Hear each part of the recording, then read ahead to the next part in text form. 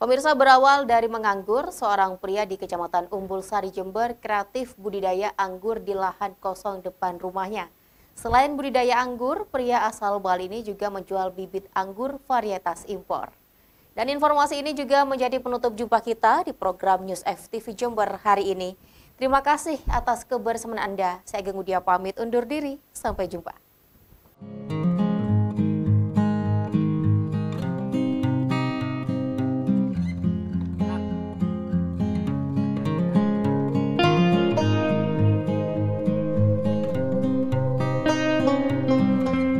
Muhammad Wayan Sukradana, pria asal Bali ini kreatif memfungsikan lahan kosong yang ada di depan rumahnya menjadi lahan budidaya tanaman anggur.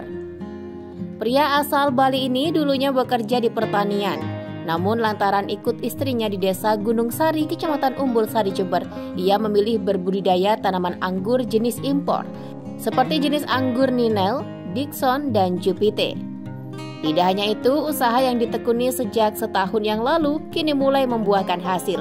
Tanaman buah anggur yang ia tekuni sudah berbuah lebat. Payor ada, akademik juga ada. Terus apa lagi? Hmm, ada, Sang Sekerta juga ada.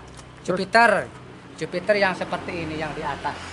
Ya ini semuanya jenis impor. Itu ya, Sebagian jenis lokal dari Bali namanya Alfonso. Gitu ya. Itu hanya berapa wit.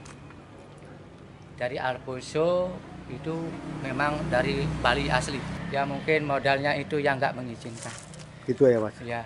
Oh, untuk bibitnya ini sangat ya lumayan lumayan gede sih. Uh, mas Apalagi untuk ini hanya pakai bambu. Untuk, Kalau pakai naungan ini lebih besar lagi biayanya. Untuk bibit Dijual harga berapa di sini, Mas?